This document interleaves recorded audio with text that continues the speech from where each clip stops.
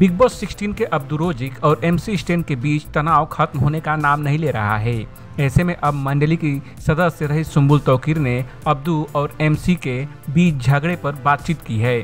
सुम्बुल का एक वीडियो सामने आया है जिसमें सुम्बुल एमसी और अब्दू के झगड़े पर अपने व्यूज़ रख रही हैं। देखिए सुम्बुल ने क्या कहा। जो मैं हमेशा बोलती हूँ कि वक्त बीती जाता है और ऊपर से ये दोस्ती सच्ची है तो हर दोस्ती में लड़ाई झगड़े होते हैं। बस ज़्यादा लोगों को नज़र इसलिए आ रहा है ज़्यादा लोगों को इसलिए दिख रहा है क्योंकि दोनों ही लोग बहुत फ़ेमस है।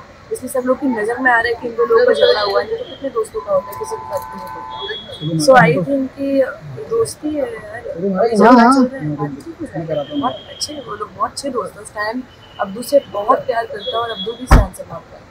तो सब ठीक हो जाएगा जल्दी स्टैन और अब्दू अरे ऑफकोर्स मिल सकते हैं। दोस्त हैं वो दोनों बहुत अच्छे दोस्त हैं। वहीं शिव ठाकरे ने भी अब्दू और एमसी स्टैन पर कमेंट किया था। उन्होंने कहा था मंडली टूटी नहीं है सब ठीक है आगे भी सब ठीक होगा। मनमुटाव तो होता रहता है। उन्होंने एमसी स्टैन और अब्दू की लड़ाई को घर की नोकझोंक कहा था। आपका इस स्टोरी पर क्या कहना है? कमेंट कर हमें ज़रूर बताएँ। बॉलीवुड और एंटरटेनमेंट की खबरों के लिए देखते रहिए एबीवी एंटरटेनमेंट